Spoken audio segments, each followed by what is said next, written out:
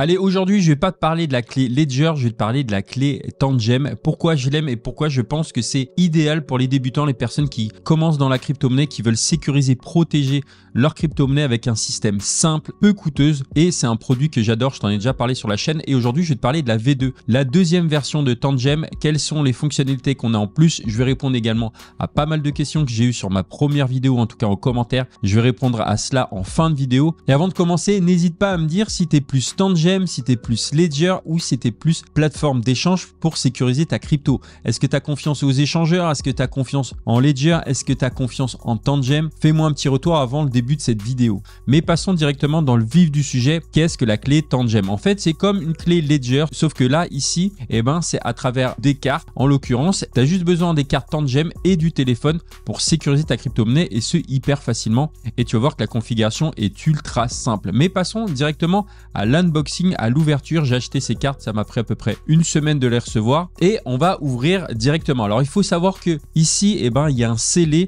alors là, il est déjà ouvert parce que je me suis foiré sur la première vidéo. Mais bref, le fait que ça soit ouvert ou non, on va en parler à la fin de la vidéo. Est-ce que c'est important pour la sécurité des cartes? Mais faisons l'unboxing. J'ouvre tout simplement la boîte et dedans, eh ben, tu as entre 2 et 3 cartes selon si tu en achètes 2 ou 3. J'en recommande 3 et on va en parler à la fin de la vidéo pourquoi c'est important. Et d'ailleurs, si tu veux acheter des cartes Tangem, tu peux utiliser mon lien en description qui te permet d'avoir 10% de réduction via mon lien et qui permet de soutenir la chaîne et je te remercie si tu passes par mon lien. Donc ici, j'ai trois cartes qui vont permettre d'avoir la clé privée. La clé privée est dans la puce directement. Elle n'est pas stockée sur le téléphone, non, elle est stockée dans la carte. Et justement, avec la V2, la deuxième version de Tangem, quelles sont les différences avec la V1 La V1, elle est là et tu vois qu'en termes de design, c'est un peu moins sympa, c'est un peu moins épuré. Tu vois qu'ici, il y a le logo Tangem qui est un petit peu en surbrillance ici et le style est plutôt neutre. Et d'ailleurs, c'est assez discret alors que la première V1, c'était écrit que en gros, c'était un hardware wallet avec euh, plusieurs euh, cryptos dessus, et eh ben c'est pas très discret si tu mets ça dans ton portefeuille ou si tu mets ça sur euh, ton bureau, ce que je te recommande bien évidemment pas. Mais ici c'est assez discret parce que c'est juste écrit Tangem ici. Il y a écrit le numéro de série derrière avec le logo au dos de la carte, mais c'est tout, ça s'arrête là. Et donc c'est, je pense, un atout. Alors il y a le design qui change et aussi il y a une fonctionnalité nouvelle qui a été demandée par pas mal d'utilisateurs, c'est-à-dire d'accéder à la seed phrase, à la clé privée au cas où tu perds deux, trois trois cartes et tu perds accès à tes cryptos. Donc justement, passons sur la configuration. Tu vas voir, c'est ultra simple. Et tu vois qu'ici, j'ai déjà mon portefeuille Tangem et tu peux en rajouter autant que tu veux. C'est-à-dire que tu peux acheter différents kits de deux ou trois cartes et les rajouter. Et ça te permet tout simplement de mettre des crypto-monnaies sur différents wallets, ce qui est plutôt recommandé si tu commences à avoir un portefeuille assez important et si tu veux diluer le risque. Parce que que ce soit les clés Ledger ou les cartes Tangem, tu as toujours le risque de perdre un appareil, de, de perdre un mot de passe. Donc c'est toujours bien. Et personnellement, j'ai plusieurs clés Ledger. D'ailleurs, on va en parler en fin de la vidéo. Pourquoi c'est important d'en avoir éventuellement plusieurs. Mais ici, eh ben, je trouvais ça important d'avoir plusieurs euh, clés Alors je mets de côté ma V1 ici qui est attaché à mon euh, portefeuille qui est juste là et je vais créer un deuxième wallet qui me permettra de euh, déposer d'autres crypto-monnaies dessus. Et donc ici, je vais te montrer comment rajouter un wallet si tu veux euh, paramétrer un tout premier portefeuille. C'est exactement la même chose. Il te suffit tout simplement télécharger l'application. Fais attention que ça soit la version officielle. Je te mettrai le lien en description au cas où, mais vérifie bien que ça soit la bonne version et que tu te trompes pas. Et une fois que tu télécharges l'application, en fait, on va te proposer tout simplement de scanner tes premières cartes. Là, ici, je vais rajouter un second wallet, un deuxième portefeuille. Et pour ce faire, je vais sur les trois points en haut à droite, je clique dessus et ensuite je fais Add New Wallet. Et d'ailleurs, la version française de l'application va bientôt sortir, ou en tout cas, c'est dans le pipe. Et donc, ce que je fais, c'est que j'ai mes trois cartes ici et je vais donner un petit peu une astuce comment euh, moi j'arrive à organiser un petit peu mes cartes. Donc, je regarde les numéros derrière, les numéros de série et je les classe dans l'ordre croissant. Donc, celle avec le plus petit chiffre, je la garde en carte principale et les deux autres, eh ben, je les mets en backup, c'est-à-dire en carte euh, de secours. Donc, je prends ma carte principale ici, je la passe tout simplement derrière le téléphone. Ça marche à peu près sur tous les téléphones de dernière génération, que ce soit iPhone ou que ce soit Android. Faut quand même que je reste concentré parce que je te parle en même temps. Et là, c'est hyper important. Et là, en appuyant sur Create Wallet, en fait, tu vas créer un portefeuille, mais tu n'auras pas la possibilité d'avoir ta seed phrase, c'est-à-dire qu'au cas où tu perds tes cartes, eh ben, tu as perdu tout simplement tout ton portefeuille. Là, ici, Tangem sur la V2 te propose d'avoir accès à ta clé privée, ce que eux-mêmes ne recommandent pas et on perd un petit peu la fonction première des cartes Tangem, c'est-à-dire que tout est sur la carte. Vaut mieux, en gros, bah, mettre une carte, je sais pas, chez toi, une carte à la banque, une carte chez un ami ou à une autre adresse et donc de placer ces cartes-là à différents endroits pour plus de sécurité. Mais là, pour le propre de la vidéo, alors que dans la première version,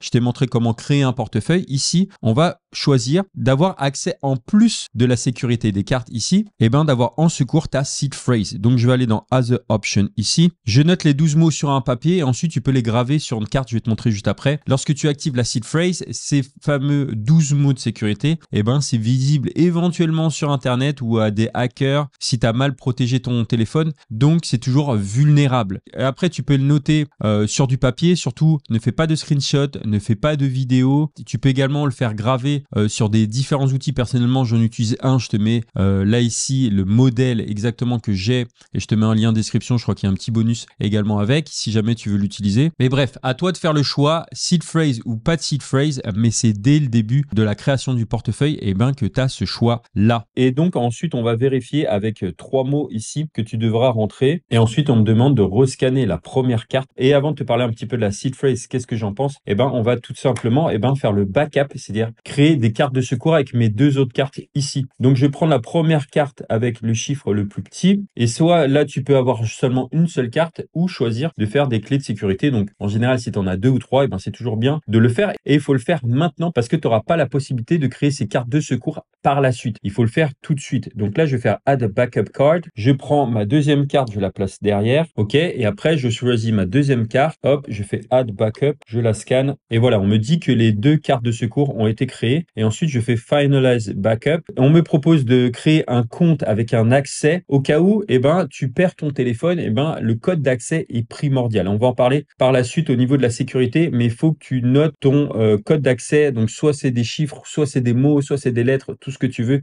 Ici, tu as le choix, tu peux le personnaliser. Et là, on me demande de euh, replacer la carte primaire. Donc, je la prends, je la place derrière et pendant 15 secondes, ils vont vérifier euh, et paramétrer la carte. OK. Après, on me demande la deuxième. OK. Et finalement, là, troisième. Et là, ça a bugué, ça peut peut-être arriver, donc on peut faire un factory reset, c'est-à-dire euh, rebooter les cartes que tu as mis. Et donc pour ce faire, là, tu vois, il y a mon portefeuille qui a été créé. Je vais sur les trois petits points, je vais dans Card Settings, dans les paramètres. On me demande de scanner ma première carte. Donc je prends ma première carte ici. Et ce que je fais, je vais dans Reset Factory Settings. On m'avertit sur les, euh, conditions, c'est-à-dire que si tu rebootes ces cartes, toutes les cryptos qui sont euh, utilisées via cette carte, parce qu'il y a la clé privée dessus, sont perdues donc, il faut faire ça sur un portefeuille vierge. Fais ultra attention. Là, je le fais parce que c'est un nouveau portefeuille. J'ai fait reset. On me demande de rescanner ici. Surtout, utilise pas tes anciennes cartes, en tout cas le premier wallet, mais il est bien de côté. Et voilà, normalement, celle-là, elle est rebootée, elle est complètement propre. Et tu fais ça avec les deux ou trois cartes si ça n'a pas marché.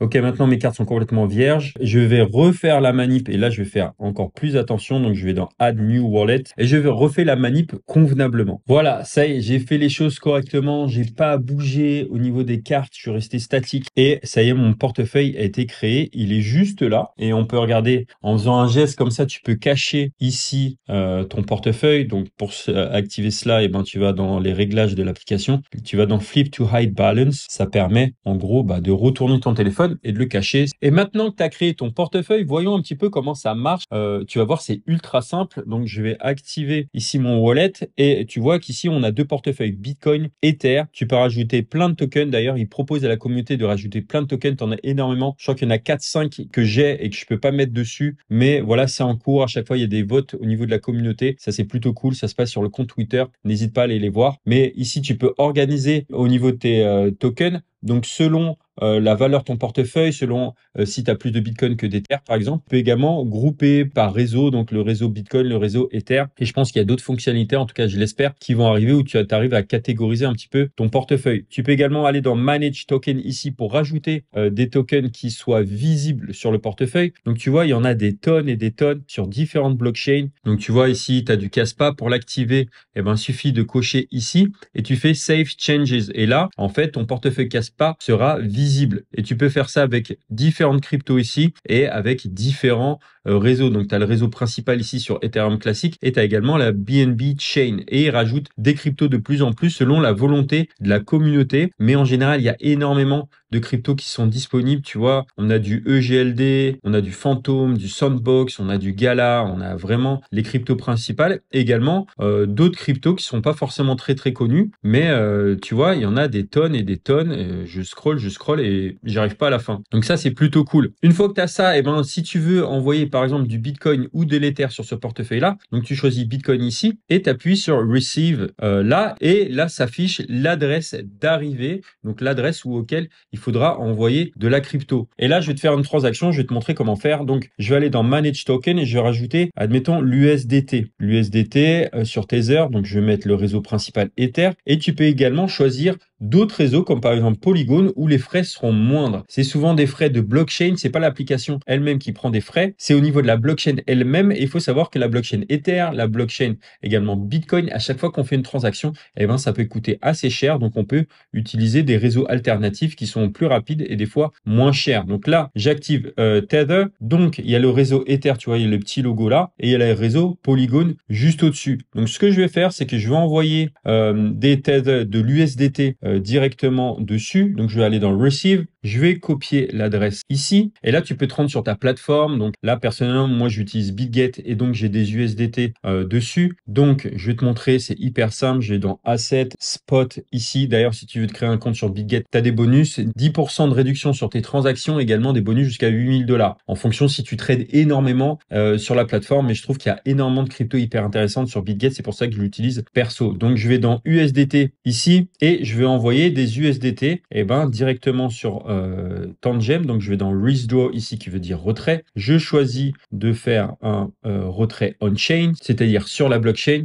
Et là, bah, tu as l'USDT, tu as également ton réseau. Donc là, par exemple, tu as les différents frais. Tu as l'ERC20, donc c'est 3 dollars, ça fluctue euh, en fonction de la congestion du réseau. Tu as BEP20 qui est à 28 centimes, Echo 10 centimes. Et là, moi, je vais chercher Polygon qui est à 1 dollar. Donc je pourrais même utiliser un autre réseau qui est moins cher même que euh, Polygon où c'est un frais fixe de 1 dollar. Tu vois, tu pourrais utiliser euh, Arbitrum, euh, voire la BNB Chain. Et puis, tu as aussi les délais. Là, on me dit que ça prendra à peu près 15 minutes. Et tu sais quoi? Bah, je vais rajouter le réseau Arbitrum et je vais te montrer comment économiser un petit peu au niveau des frais. Donc, je vais activer Arbitrum ici. Je fais Save Changes pour enregistrer. Et là, tu as le réseau qui s'affiche ici. Et là, tu as le réseau Arbitrum qui s'affiche et le réseau Tether sur le réseau Arbitrum. Donc là, je vais prendre la nouvelle adresse. Je retourne sur Big ici et je choisis le réseau Arbitrum qui sera plus rapide et moins cher. Donc je vais copier-coller l'adresse. Je vais choisir un montant, donc admettons, allez, 10 dollars. Là, on me dit que euh, je vais recevoir 9,9 dollars parce qu'il y a 10 centimes de frais dessus. Donc c'est des frais qui sont fixes. Hein. Plus tu mets dessus, bah moins ça te coûtera cher en termes de frais. C'est des frais qui sont fixes. Je fais restore, je fais ensuite confirmation. Là, je fais toutes les étapes de sécurité. Et ça y est, eh ben la transaction est passée. Il est 1h07 et on va voir combien de temps ça va prendre Ici, pour euh, recevoir les fonds, on m'a dit à peu près 5 minutes. Et tu fais ça pour toutes les cryptos euh, dont tu veux sécuriser et avoir l'accès.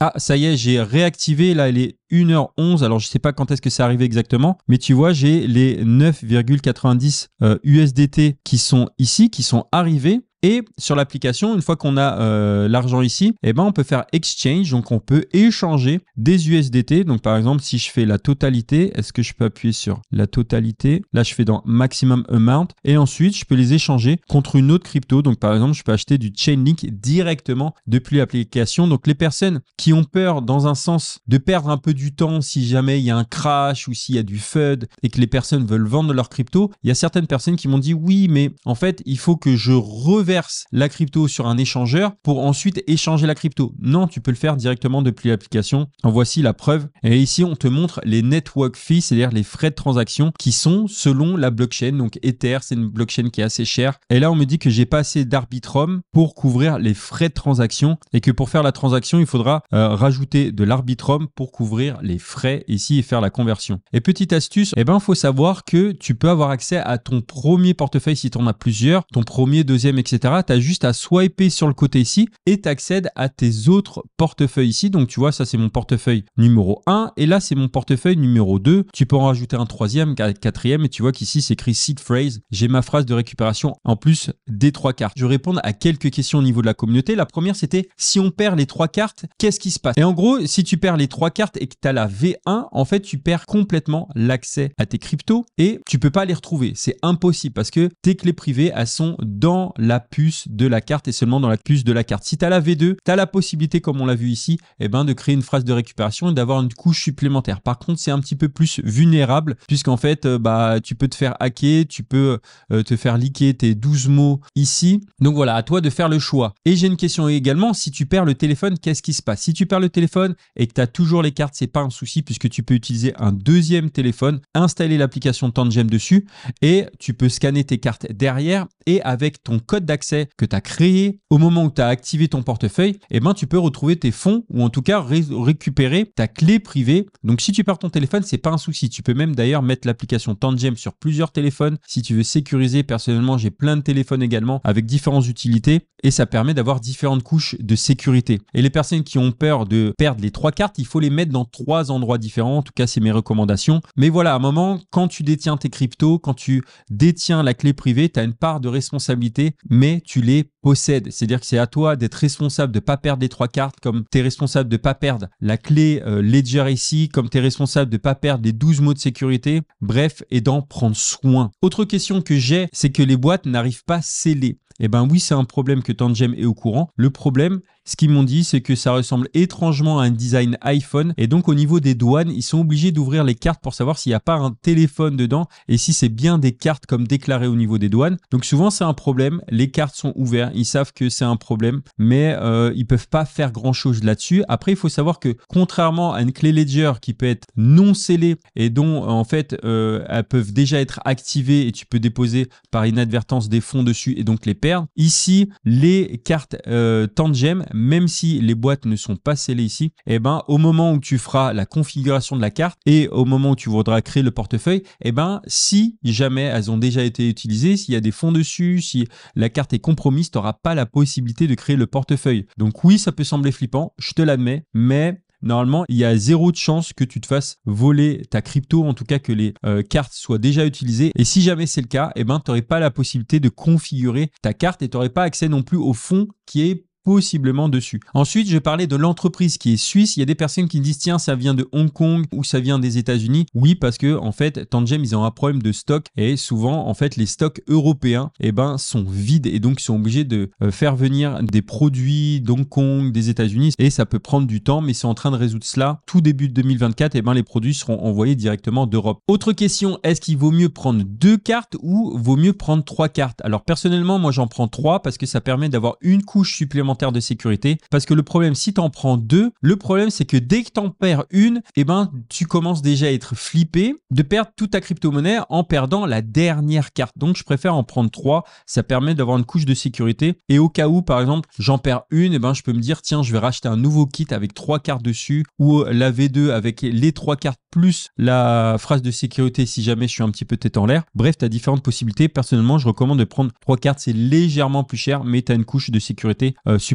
D'ailleurs, en termes de fonctionnalité, on devrait avoir l'application en français. Peut-être le stacking, mais pour l'instant, je suis pas au courant. Il y a également une bague qui va arriver et qui remplacerait les cartes ou qui se rajouterait au niveau des cartes. Et je crois, si je me trompe pas, il y aura également une carte de crédit où on pourra euh, payer directement via euh, la carte Tangem. Ça, ça va arriver dans les prochains mois. Il faut savoir que Tangem existe depuis 2017-2018, donc ça fait maintenant 5 ans. Et pour les personnes qui ont peur de passer le cap au niveau de Tangem, je le comprends parce que c'est pas un produit qui est hyper courant. Il y a d'autres produits qui proposent également les cartes comme ça. Moi, j'ai un petit peu digue le projet, donc j'ai confiance en eux. À toi de faire tes recherches. Regarde la FAQ, c'est-à-dire les questions les plus fréquentes directement depuis le site internet. J'ai trouvé que c'était super bien fait. Le site d'ailleurs va arriver en français incessamment sous peu. Mais voilà, ce qu'il faut savoir que lorsque tu utilises Ledger, lorsque tu utilises Tangem, à partir du moment où tu sécurises et tu es responsable de ta crypto, eh ben déjà, tu as une part de responsabilité et en plus, il faut faire confiance dans le produit, il faut faire confiance dans la boîte. Il faut savoir que si Tangem ferme, eh ben c'est pas un problème parce que l'application est complètement indépendante des serveurs de Tangem. Mais voilà, l'application est sur GitHub, c'est-à-dire que n'importe qui peut créer une nouvelle application de Tangem et euh, l'utiliser sur son téléphone pour ensuite envoyer des fonds, récupérer des fonds. Ça, il faut le savoir. Aussi, est-ce que tu peux acheter directement de la crypto depuis Tangem Oui, tu peux. Par exemple, ici, eh ben, tu peux acheter du Polygon et pour cela, eh ben, tu vas dans Buy ici et ensuite ici, tu peux choisir donc par exemple euro ici et euh, dire bah, par exemple, je vais acheter 300 euros de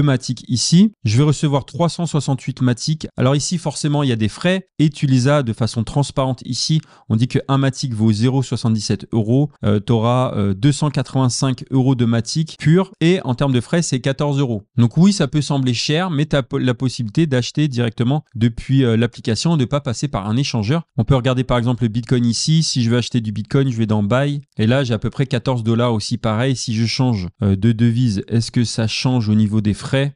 non, c'est 14,15€ ici et on te dit clairement combien tu aurais et après bah, tu peux acheter via euh, carte bleue ici ou par Apple Pay directement depuis l'application. C'est plutôt cool. Et ici, tu peux même vendre tes cryptos et récupérer des euros. Et ici, tu as les différents coûts qui s'affichent, les différentes estimations, les différents frais. Et ça, c'est plutôt cool. Donc voilà, si tu veux t'acheter des cartes, tu peux très bien utiliser mon lien en description avec 10% euh, dessus. En tout cas, c'est un produit qui est assez cool. Et les personnes qui me disent, tiens, t'as arrêté Ledger? Non, j'ai pas arrêté Ledger, j'ai diversifié. Euh, j'ai toujours mes clés Ledger, j'en ai plusieurs. J'ai plusieurs cartes Tangem. Je diversifie un petit peu sur différents portefeuilles. Je pense que c'est hyper important. Mais Ledger, c'est toujours un produit que j'adore. Mais en termes de simplicité, je trouve que Tangem change le game et je voulais présenter ça aux personnes qui débutent et qui n'ont pas envie de se prendre la tête avec Ledger, à configurer la clé, etc., qui est assez compliqué. Non, Tangem propose ça. Donc voilà, n'hésite pas à utiliser mon lien de description. Si tu veux t'en acheter un, fais-moi un retour, un petit peu en commentaire. Qu'est-ce que tu en penses Quel est ton avis Je lis tous les commentaires. Si tu as été là jusqu'à la fin de la vidéo, n'hésite pas à mettre le mot Tangem en commentaire. Comme ça, je vois qui était là jusqu'à la fin. N'hésite pas à aller voir le tuto complet, le premier tuto sur Tangem juste ici. Je te dis à bientôt pour une nouvelle vidéo. D'ici là, pour toi bien. Ciao